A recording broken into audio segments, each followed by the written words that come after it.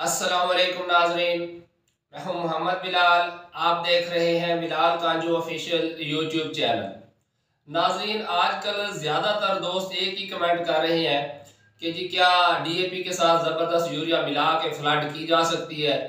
या डीएपी और ज़बरदस्त यूरिया को इकट्ठा इस्तेमाल किया जा सकता है? क्या नाइट्रोफास के साथ भी ज़बरदस्त यूरिया मिलाई जा सकती है?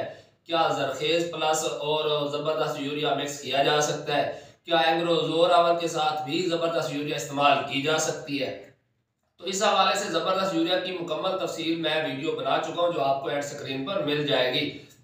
आपको समझाना यह है कि जो ज़बरदस्त यूरिया है, इसके अंदर जिंक को हल करने वाले बैक्टीरिया मौजूद हैं। इसीलिए हम इसे कहते हैं बायो एक्टिव जिंक ताकि इसकी फिक्सेशन भी ना हो और ये फास्फोरस के साथ रिएक्ट ना करे। मगर मिसाल से मैं आपको समझाने की कोशिश करता हूँ कि आपने एक नहर क्रॉस करनी है, उसके साथ पुल मौजूद है। तो आप अपनी एफिशिएंसी बचाएँ, सीधा पुल क्रॉस करें और नहर के दूसरे किनारे पहुँच जाए। लेकिन अगर आपको शौक है अपनी एनर्जी वेस्ट करने का, अपना टाइम वेस्ट करने का तो फिर आप नहर में छलांग लगाएँ, फिर तैर कर जाएँ। उस तैरने में आपकी एनर्जी तो ज़ाय होगी। तो बिल्कुल यही है कि आप इसे डीएपी नाइट्रोफास जरखेज जोरावर के साथ इस्तेमाल कर सकते हैं।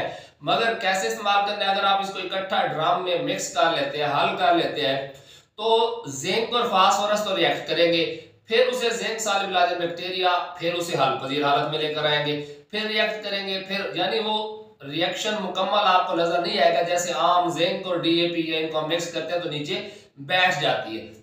ऐसा कुछ नज़र नहीं आएगा, मगर आप खाम खा में अपने उस जिंक सॉल्युबलाइजिंग बैक्टीरिया की एफिशिएंसी काम कर रहे हैं, आप जानबूझकर नहर से गुजर रहे हैं, बजाय पुल से जाने के। तो इसीलिए इसका सही तरीका यह है कि आप नाइट्रोफास अगर इस्तेमाल कर रहे हैं तो उसे फर्टिगेट कर दें, उसके बाद गप के अंदर आप ज़बरदस्त यूरिया का छट्टा कर दें।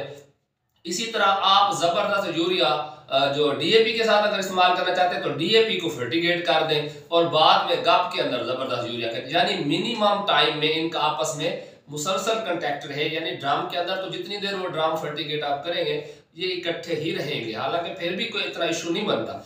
इसी तरह जरखेज हो या ज़ोर और जिनमें भी फास्फोरस मौजूद है तो आप कोशिश करें इनके दरमियान गैप रखें।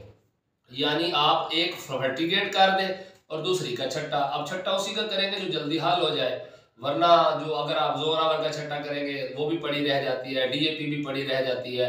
तो इसी तरह अगर नाइट्रोफास का छट्टा किया जा सकता है तो आपने ये खुद से डिसाइड करना है कि आप इस में कितनी देर पानी खड़ा होता है और कितने दिन के बाद आपने इसका छट्टा करना है। आप फास्फोरसी खाद को फर्टिगेट कर दें और इसका बाद में गप के अंदर आप छट्टा कर दें तो आपको बेहतरीन रिज़ल्ट मिलेंगे, परेशान होने वाली कोई ऐसी बात नहीं।